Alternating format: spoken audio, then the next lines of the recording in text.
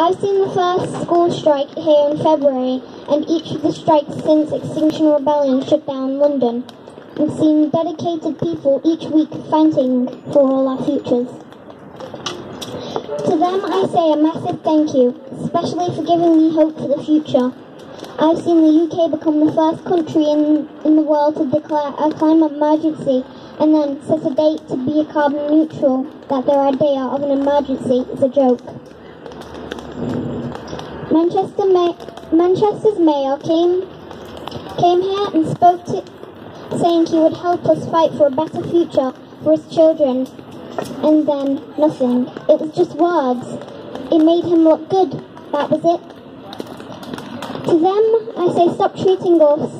Wait, I did it wrong order, sorry. I was there. What? I was there when Manchester declared a climate emergency, and then Bury and Salford also declared one, and Oldham declared their version of a Green New Deal. To them I say, stop treating us like we are stupid. Your words do not match your actions. This is supposed to be an emergency. Stop greenwashing. We have five years to stop us from going over the next tipping point. Stop making promises you don't mean. We need bravery. We need great radical action. We need big businesses and, gov- and government to put climate breakdown as their top priority. We need councillors and politics to do politicians to do their job to represent the voice of people. We are the people. We are that voice.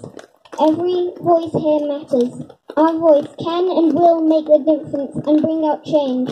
We have to stay strong, keep shouting, keep messaging, tweeting, keep writing to your MPs, keep asking questions of everything they say and do.